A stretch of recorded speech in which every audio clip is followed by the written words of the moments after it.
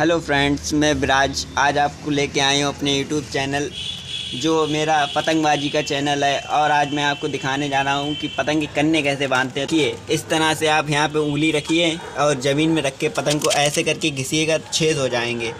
और यहाँ पे भी ऐसे कर सकते हैं तो यहाँ पे भी छेद हो जाएँगे। तो आपको सद्दिल लेनी है, और सद्दिल, ये सद्दिल का एक छिरा ये और दूसरा ये ऐसे करके पकड़िएगा और उसके बाद पकड़ने के बाद आप इसको ऐसे डबल करिए कन्ने बांधिएगा। तो कन्ने में एक छेद यहाँ पे ऐसे डालिएगा और दूसरा ऐसे डालिए। डालने के बाद आप यहाँ पे जो गाठी मारते हैं तो एक गाठी मारने के बाद ऐसे मार दीजिए और उसके बाद आप उसी को फिर से रिपीट करिएगा। एक ऐसे करके वापस डालिएगा। और वापस डालने के बाद यहाँ से फिर निकालिए।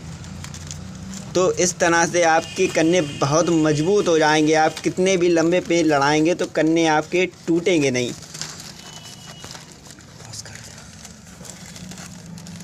बंद कर दो। आप इसी तरह इसी तरह से आप रिपीट करिए, ऐसे करके यहाँ से डालिए।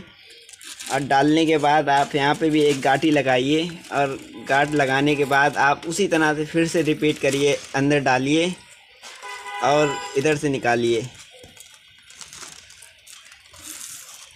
निकालने के बाद आप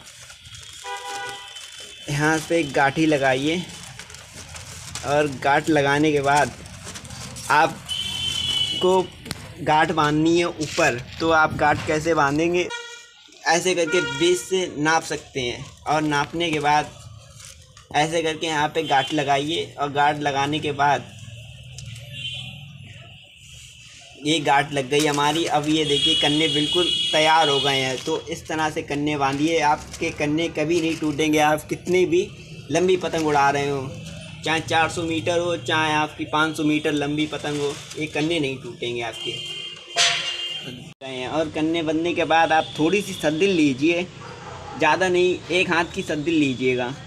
और यहाँ से ऐसे गांठ मार के इतनी सद्दिल आप इतनी बाँध के यहाँ से तोड़ दीजिए। इतनी सद्दिल पेंच में आप बांधिए और बांधने के बाद डोरी बाँध के आप पतंग उड़ाएँ। तो आपकी पतंग झोल नहीं खाएगी।